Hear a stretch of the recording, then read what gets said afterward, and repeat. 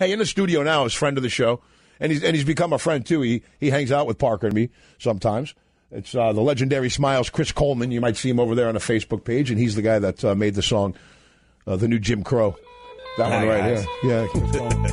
SMYLZ, it's always a pleasure. No, no, thanks for having me in. I, I wanted I wanted you to come in here today because uh, you know I got a lot of black friends. You, you're one of them, and uh, everybody I talk to, whether it's a black friend of mine or some caller, some black guy that calls in on the show over the last couple of weeks, to a man, Right. Every one of them, Chris Coleman.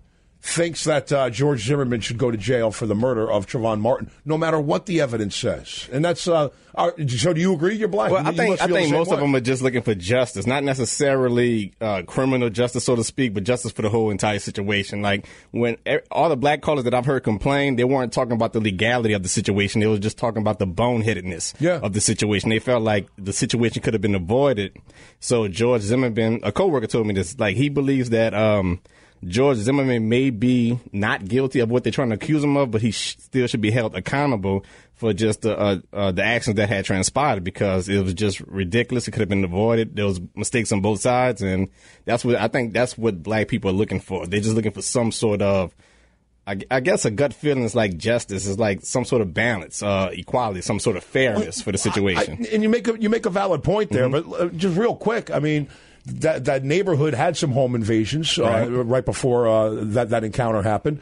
Uh, Zimmerman was the neighborhood watchman, and it's not illegal to keep an eye on someone. Mm-hmm. And you know that it's not illegal to get out of a car, but it is illegal to just start pummeling someone who you think quote unquote disrespected you. And all the evidence right now is showing that's what happened. Well, yeah. If uh, if Trayvon Martin is proved to be the aggressor, I think you know uh, George Zimmerman should be let off. But at the same time, I don't think that's going to sit well with people because it's, it's, it's more of a morality sort of ethical thing, a conscience, so to speak. I don't think they're looking at it from a legal perspective when they get upset or when they're uh, ranting and raving about the justice they want for Trayvon.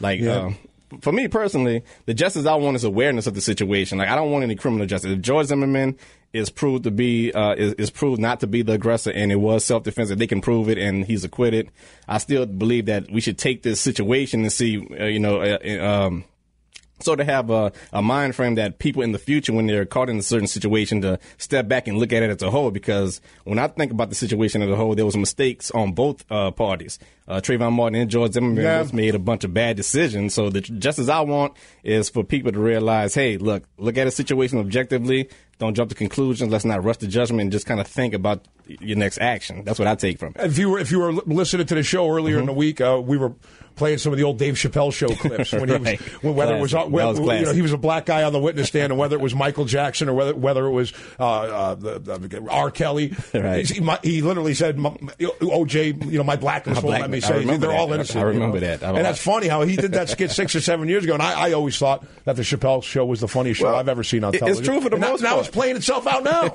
It- no, it's true for the most part. Most people, uh, most black people in the black community do have a collective thought process. They blindly follow each other. You know, I guess we kind of need that in a certain extent, but I can see where it could become a detriment. We all, uh, some people feel like if you don't think like the whole, you're an outcast and you're not quote unquote real. You're not real. You're not one of us. yeah, you're a No- sellout. You're whatever the case. Right. Oreo, so to speak. Yeah. So yeah. All right, that's Chris Coleman, the legendary SMYLZ. Hangs out with us up here sometimes and hangs out with us when we're not here as well sometimes. We'll get a couple of pops in an hour or so after the show, Coleman. It's coming up next. It's uh, Jim Varney from NOLA.com, the Times Picayune, and the Paper Boy. He comes in every uh, Friday for the last hour of the show. We go over the week's big headlines. And WDSU's Rachel Wolf, I believe, will be coming in here as well, hanging out with us too. Stick around, a lot to do in the last hour. John Osterlind here with you on Rush Radio, 99.5 WRNO.